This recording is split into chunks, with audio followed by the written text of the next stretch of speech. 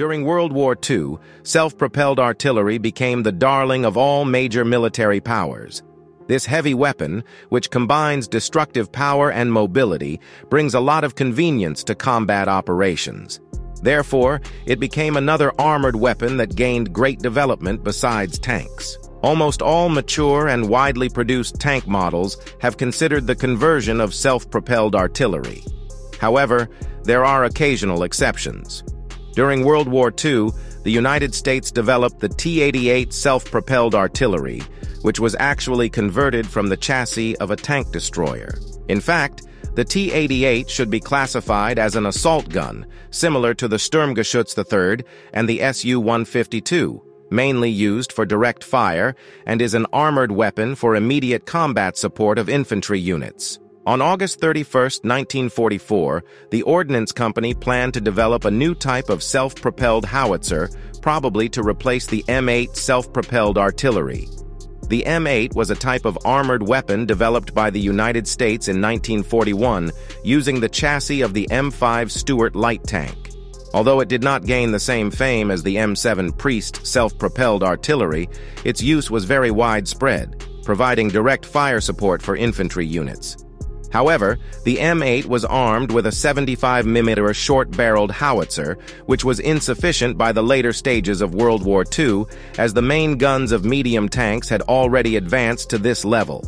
This plan proposed two major options. One was to use the chassis of the M4 Sherman and complete the conversion by installing a 105mm howitzer, and the other was to use the chassis of the M18 Hellcat tank destroyer and install an improved version of the T12 105mm light howitzer to create the T88 self-propelled howitzer.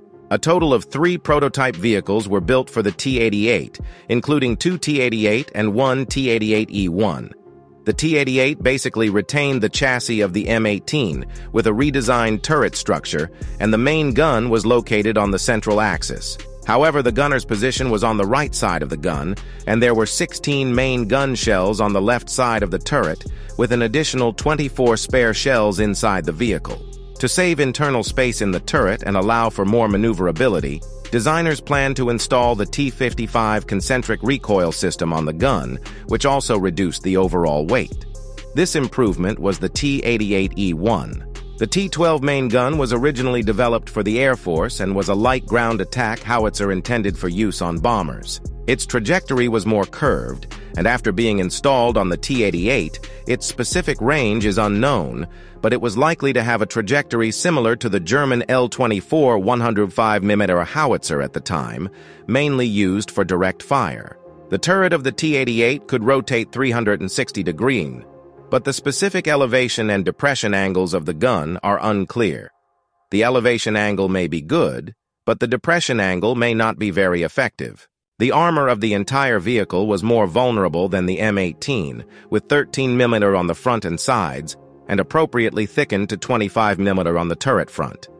Similar to the M18, the self-propelled howitzer had very good mobility.